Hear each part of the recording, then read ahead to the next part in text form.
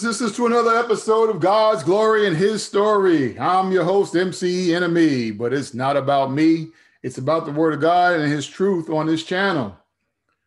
Remember the prayer of Paul to the Ephesians, Ephesians chapter 3, verse 16 through 21. If you read it, it will bless you with understanding of God's Word and His love for you. If you haven't done so yet, new to this channel, we ask that you download at least two Bible apps. And we ask that you make one of them the 1611 King James Bible with the Apocrypha. And the reasons right there in the middle of your screen is the facts of every case must be established by the testimony of two or three witnesses. All right, the name of this episode is If Loving You is Wrong, I Don't Want to Be Right. And as a subtitle, we're going to be introducing you to the prequels of Daniel.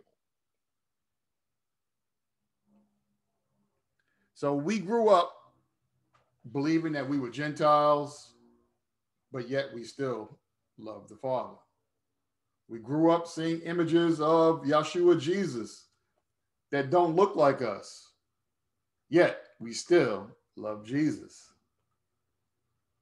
You are the descendants of the children of the book. Now, I'm sure many of you are going to say, How can I be so sure? Scripture, scripture, scripture. And I'm going to introduce you to the book of Shoshana.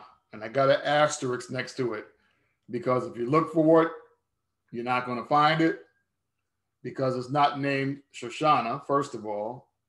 Shoshana is the Hebrew name of what the book is currently named Susanna. And that book, Susanna, is you're, you're only going to find in your 1611 King James Bible with the Apocrypha.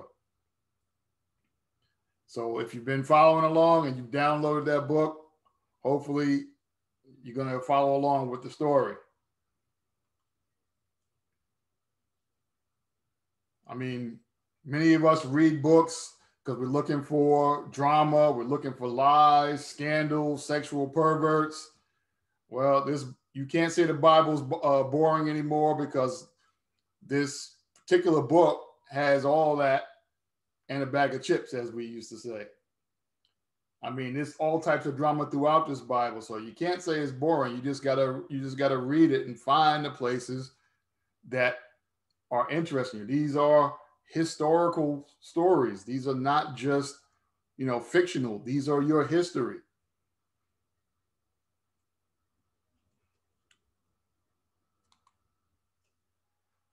So the story uh, is going to start with a, it's a man named Joachim, and you can see his Hebrew name on the screen there, Joachim, Jehoiakim, and his name means in Hebrew raised by God.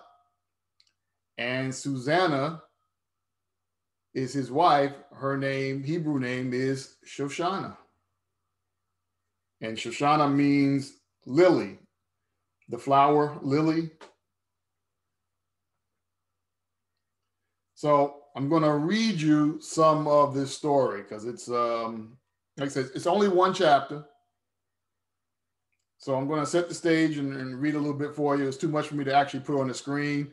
But like I said, I want you to go and follow along yourself. The book of Susanna. It's only one chapter.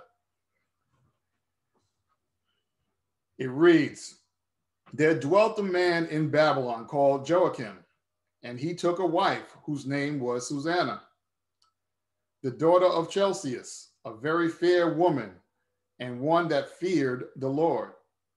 Her parents were also righteous and taught their daughter according to the law of Moses. Now Joachim was a great rich man and had a fair garden joining unto his house. And to him resorted the Yahudis because he was more honorable than all others. The same year appointed two of the ancients of the people to be judges, such as the Lord spake of, that wickedness came from Babylon from ancient judges who seemed to govern the people. These kept as kept much at Joachim's house, and all that had any suits in law came unto them. Now, when the people departed away at noon, Susanna went into her husband's garden to walk. And the two elders saw her going in every day and walking, so that their lust was inflamed towards her. And they perverted their own mind and turned away their eyes, that they might not look unto heaven, nor remember just judgments. Skipping down a little bit further, yet they watched diligently from day to day to see her and one said to the other, Let's go now home, for it is dinner time. So when they were gone out, they parted one from another, and turning back again, came unto the same place. And after that, they had asked one another the cause. They acknowledged their lust. Then appointed they a time both together when they might find her alone. And as it fell out as they watched a fit time, she went in as before with two maids only, and she was desirous to wash herself in the garden, for it was hot. And there was nobody there save the two elders that had hid, themselves and watched her. Then they said unto her maid, then she said unto her maids, Bring me oil and washing bowls and shut the garden doors that I may wash me. And they did as she bade them, and shut the garden doors, and went out themselves at privy doors to fetch the things that she had commanded them. But they saw not the elders because they were hid. Now, when the maids were gone forth, the two elders rose up and ran unto her, saying, Behold, the garden doors are shut, that no man can see us and we are in love with thee. Therefore, consent unto us and lie with us. If thou wilt not, we will bear witness against thee that a young man was with thee, and therefore thou didst send away thy maids from thee. Then Susanna sighed and said, I am straitened on every side. For if I do this thing, it is death unto me. And if I do not do it, I cannot escape your hands. It is better for me to fall into your hands and not do it than to sin in the sight of the Lord. With that, Susanna cried out with a loud voice, and the two elders cried out against her. Then ran the one and opened the garden door. So when the servants of the house heard the cry in the garden, they rushed in at the privy door to see what was done unto her. But when the elders had declared their matter the servants were greatly ashamed, for there was never such a report made about Shoshana. And when it came to pass the next day, when the people were assembled to her husband Joachim, the two elders came also full of mischievous imagination against Shoshana to put her to death. And said before the people, Send for Shoshana, the daughter of Chelcias, Joachim's wife. And so they sent. So she came with her father and mother, her children, and all her kindred. Now Shoshana was a very delicate woman and beauteous to behold. And these men, these wicked men, commanded to her to uncover her face that they might be filled with her beauty. Therefore, her friends and all that saw her wept. Then the two elders stood up in the midst of the people and laid their hands upon her head. And she, weeping, looked up towards heaven, for her heart trusted in the Lord. And the elders said, As we walked in the garden alone, this woman came in with two maids and shut the garden doors and sent the maids away. Then a young man who was hid came unto her and lied with her. Then we that stood in the corner of the garden, seeing this wickedness, ran unto them. And when we saw them together, the man we could not hold, for he was stronger than we, and opened the door and leapt out. But having taken this woman, we asked who was who the young man was, but she would not tell us these things. We do testify. Then the assembly believed them as though they were the elders and judges of the people. So they condemned her to death. Then Susanna cried out with a loud voice and said, O everlasting God, thou knowest the secrets and knowest all things before they be. Thou knowest that they have borne false witness against me, and behold, I must die. Whereas I never did such things as these men have maliciously invented against me. And the, and the Lord heard her voice. And now on the screen, here it is, where I wanted you to see. And therefore, when she was led to be put to death, the Lord raised up the Holy Spirit of a young man whose name was Daniel, who cried out with a loud voice, I am clear from the blood of this woman. Then all the people turned them towards him and said, What mean these words that thou hast spoken? So he stood, so he standing in the midst of them said, Are ye such fools, ye sons of Israel, that without examination or knowledge of truth, ye have condemned the daughter of Israel? Return again to the place of judgment, for they have borne false witness against her. Now I'm going to stop right there and just put it as a note on the bottom that Daniel, the name Daniel means to judge, and then El is God. So we would say God to judge. Just found that to be an interesting fact. But I'm actually going to leave the story here so hopefully I got your juices wet and you want to know what happened. But now you're going to have to go and download and read the book of Susanna, which is also her Hebrew name is Shoshana. Read it for yourself. The other book that is an introduction to Daniel is called Bel and the Dragon, which is also in the Apocrypha, the 1611 King James Bible. This particular book elevates Daniel in the sight of the king of Babylon. And it too is only one chapter. This sets Daniel to go on to become one of the greatest prophets of all time.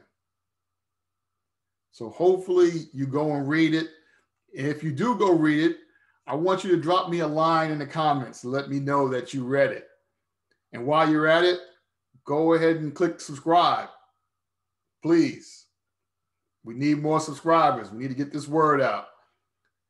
But when you drop that line in the comments, just don't give away the ending. Just tell us that you read it and give us your reaction.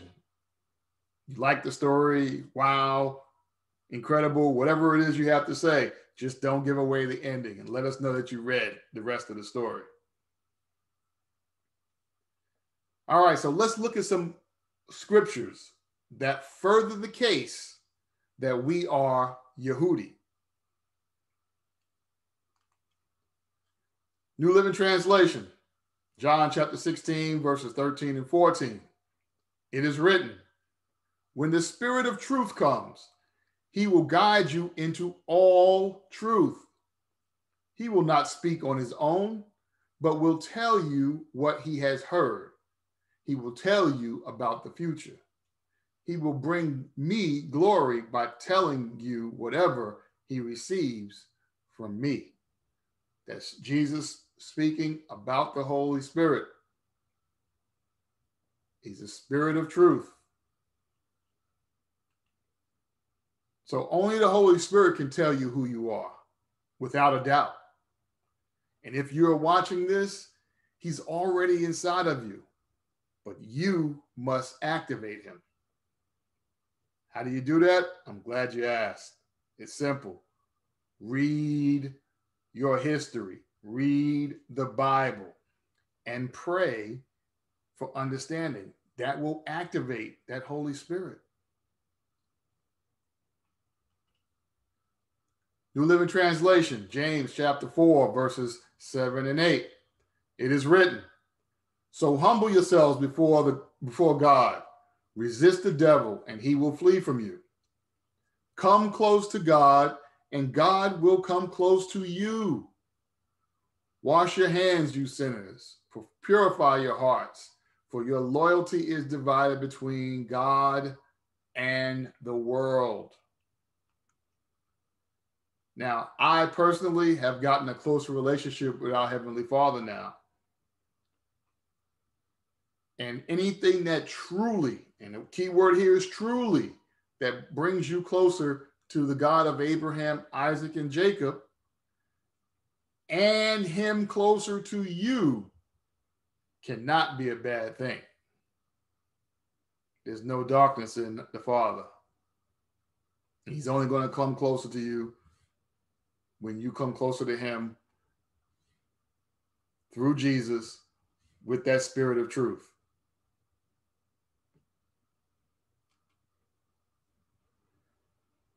New Living Translation, Romans chapter 8, verses 28 through 30. It is written, And we know that God causes everything to work together for the good of those who love God and are called according to his purpose for them. For God knew his people in advance, and he chose them to become like his son, so that his son would be the firstborn among many brothers and sisters. And having chosen them, he called them to come to him. And having called them, he gave them right standing with himself. And having given them right standing, he gave them his glory.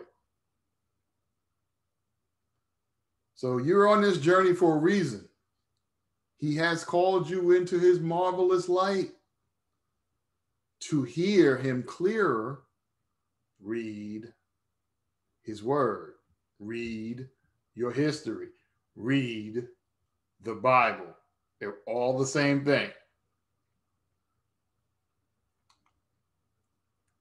1611 King James Bible, New Living, oh, excuse me, New Living Translation, John chapter 1, verses 10 through 13.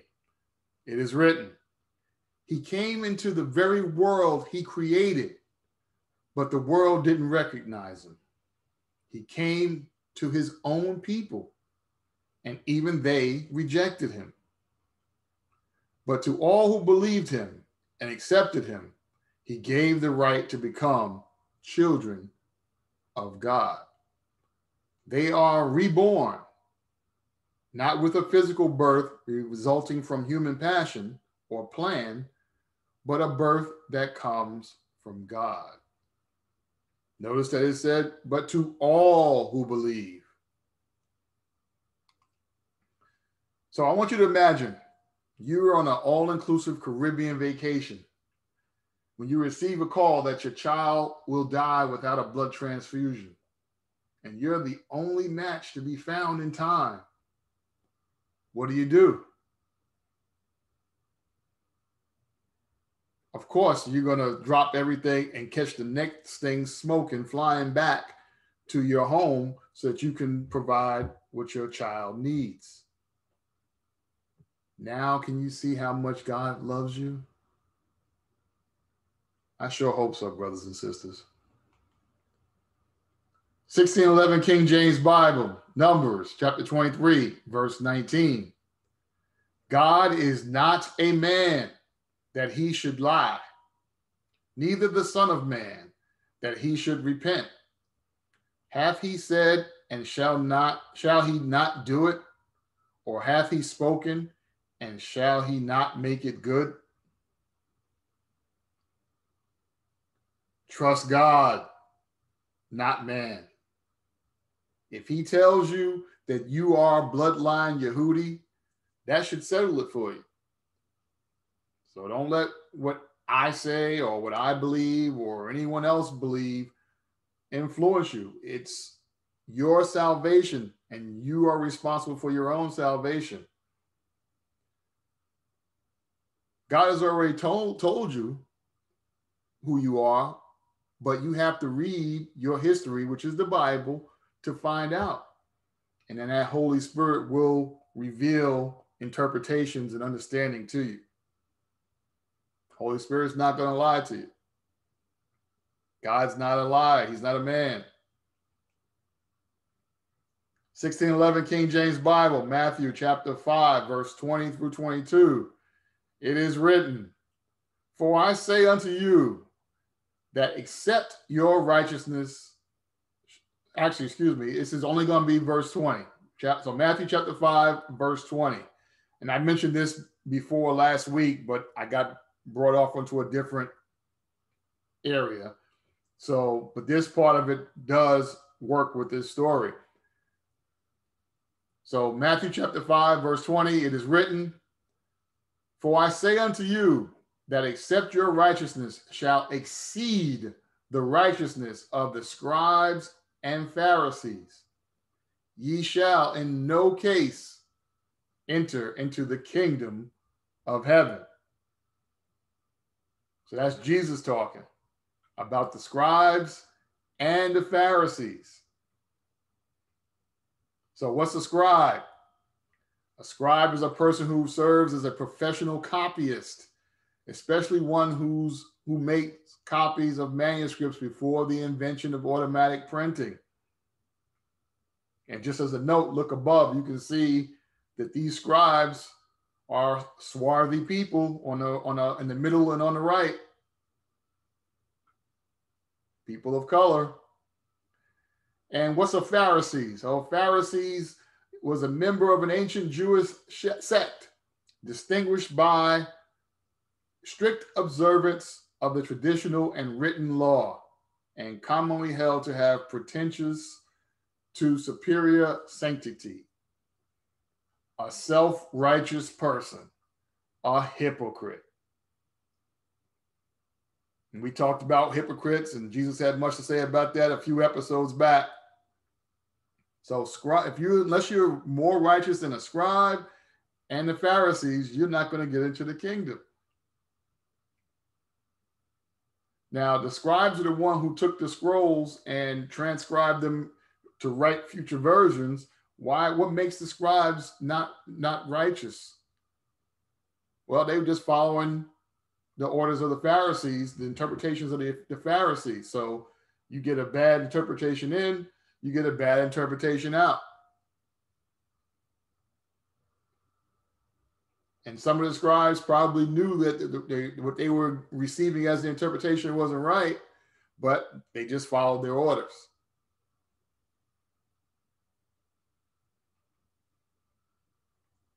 1611 King James Bible, John chapter 8, verses 31 through 33. It is written, Then said Jesus to those Yahudi which believed on him, If ye continue in my word, then ye are my disciples indeed, and ye shall know the truth, and the truth shall make you free. They answered him, We be Abraham's seed and were never in bondage to any man. How sayest thou, ye shall be made free? Now, I've never felt so free in my life, brothers and sisters, coming into this realization of who we are. I'm, I'm free from that mental bondage of the enemy's deception. And it's my hope that y'all continue to rock with me until the Holy Spirit tells you the same. But I want you to notice that passage of scripture. They said the seed of Abraham and were never in bondage, meaning that they can only be of Ishmael, Esau, or the sons of Keturah, because we know Israel, the sons of Israel, went through many captivities, and they are the people, the chosen people of the book. So the religious leaders were not of Israel. They were not descendants of Jacob. And just as a reference, you can go back and look at episode 17. It's called Israel, You Are Not the Father. We went over some of that information there in case you're interested in following up on it. And did I mention you have to read the Bible? Read your history. All right, brothers and sisters, remember to capture Christ at 1234 Eastern Standard Time, AM and PM. Kumbayas, about us speaking with one voice. You can catch me on Facebook, Hebrew Connect TV. If you like this episode, please click the thumbs up and share it with others. You can send me an email right there in the middle of the screen. And I, I definitely implore you guys to drop a line in the comment. Let me know that you read the rest of the story of Shoshana. All right, brothers and sisters, as always, worship the Father, praise the Son, and accept the Holy Spirit. Y'all be blessed. Until next time, shalom, peace.